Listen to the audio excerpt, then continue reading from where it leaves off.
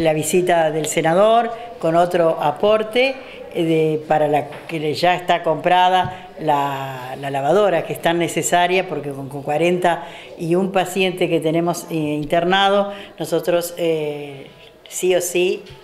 estamos este, siempre con el lavadero a full. Entonces, tener una lavadora nueva para nosotros es una gran tranquilidad de poder que ese trabajo que hay que hacerlo diariamente se pueda hacer en tiempo y forma. Entonces, realmente estamos muy agradecidos al senador por esto, estos dos aportes que ya ha hecho este, para que esto se haga realidad porque en sí a veces nosotros hace mucho tiempo que la estamos mirando y la estamos reparando porque la queremos cambiar y no llegamos, pero bueno, hoy se ha hecho realidad el, sueño deseado, ¿no es cierto? Cuando Pipi gana la senaduría del departamento y todas las visitas que hizo muy especialmente a la ciudad de Carcarañá, ¿no? y recordábamos muy especialmente acá en el hospital, la grúa de los, para los abuelos, eh, aparte muchísimos aportes, la gestión de la ambulancia nueva que tienen, ahora la lavadora industrial, la verdad que, y, sin contar eh, todos los recursos que ha traído el senador este, para Carcarañá a distintas instituciones, ¿viste? Y el tiempo parece que fue ayer, pero este, mucho más lo que él trajo, que con el tiempo él recién planteaba, mira, llegamos ya casi a pagar y el, fabricante de la máquina eh, falta poquito para terminarlo, o sea que casi eh, los aportes llegan antes que llegue, eh, llegue la máquina. Eso le da una, una calidad al senador de, lo, con el tiempo que estamos trabajando juntos, que siempre lo que prometió, que es lo que corresponde, ¿no? Este, lo llevó a cabo. Sí, sin duda, o sea, bueno, las demandas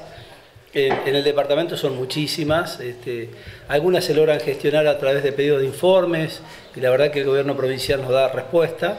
este, por un lado, y otras a través del plan de fortalecimiento institucional. Nosotros hace tiempo que Marta, dentro de los proyectos que tenía, nos comentaba que este era, era un buen desafío, bueno, intentamos en la gestión anterior poder lograrlo, no se logró. Eh, nos comprometimos, porque sabemos que comprometiéndonos, por eso yo siempre digo que quiero visitar las instituciones, estar con ellos, porque es una forma también de comprometerse. Ese compromiso te obliga a no olvidarte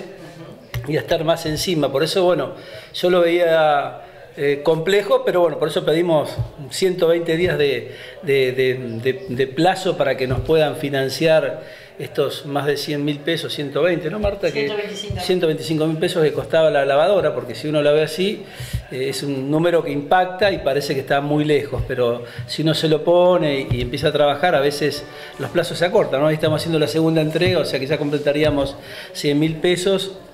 Y creemos que si Dios quiere, en el curso del mes de septiembre, o sea, que ya inicia mañana pasado, este, estamos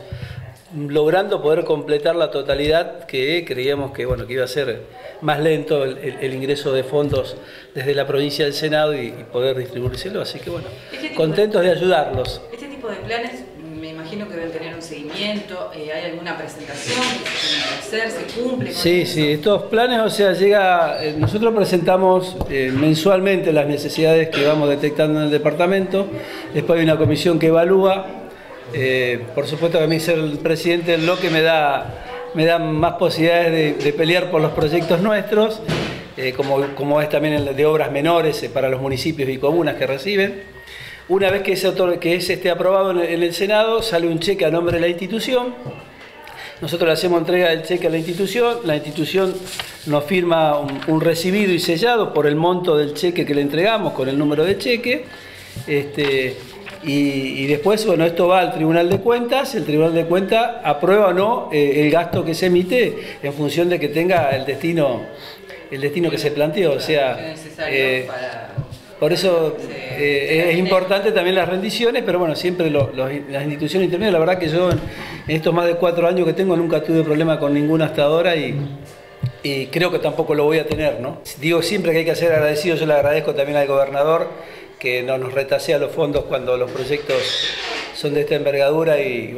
también eso hace posible que uno esté en tiempo y forma dando respuesta, porque en realidad el plan de fortalecimiento se pensó y se ideó para salir a cubrir las necesidades más urgentes que tiene la comunidad, que a veces en, el Estado provincial lleva mucho tiempo, eh, se arma un expediente, ese expediente tiene todo el curso de la burocracia que lamentablemente tiene la función pública para que las acciones sean transparentes. Bueno, este es una forma más de dar respuestas más rápidas ¿no? este, a demandas más pequeñas que tiene la comunidad.